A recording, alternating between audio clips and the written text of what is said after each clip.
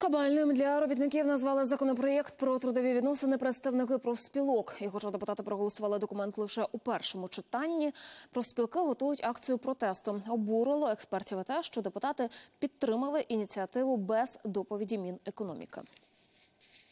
Це означає, що в уряді не знайшлося жодної людини, яка взяла на себе відповідальність. Цей законопроект передбачає, що тепер у нас немає роботодавців і немає робітників, як це у Європі.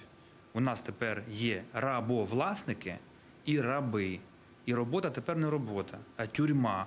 Причому робітник там буде знаходитись весь час у кайданках і весь час в очікуванні, що завтра роботодавцеві здасться, що на нього не так подивилися, і він просто викине з роботи цього робітника.